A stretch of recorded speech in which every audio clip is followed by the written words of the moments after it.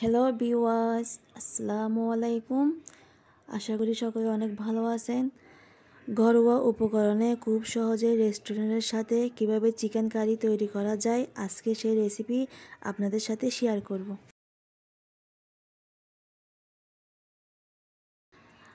আমি এখানে দেড় কেজি চিকেন নিয়েছি। এতে সামান্য পুট খাবার ও স্বাদ মতো লবণ দিয়ে মাখিয়ে নিচ্ছি।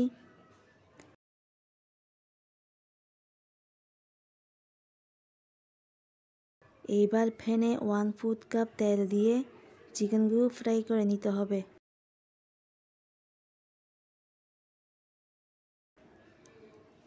চিকেন ফ্রাই হয়ে গেছে।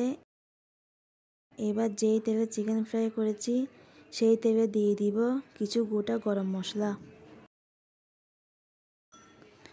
পেঁয়াজ কুচি এক কাপ।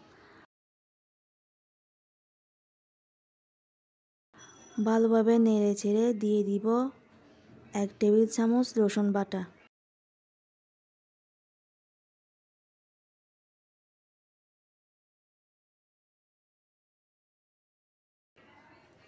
দিচ্ছি সামান্য পানি।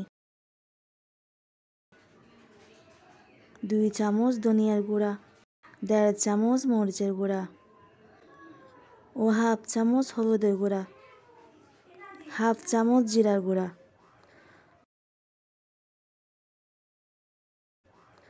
মশলাগুলো ভালোভাবে মিশিয়ে দিব।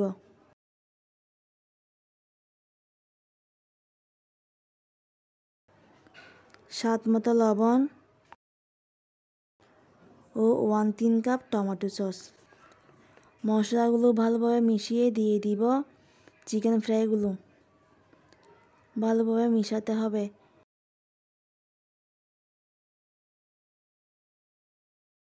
এবার দিব কিপ করে কাটা পেঁয়াজ এক কাপ। কাঁচামরিচ ফালি পাঁচটি।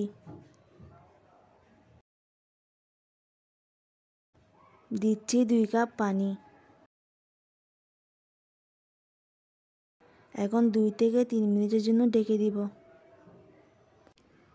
এখন ডাকনা তুলে দিয়ে দিচ্ছি টমেটো কুচি একটি।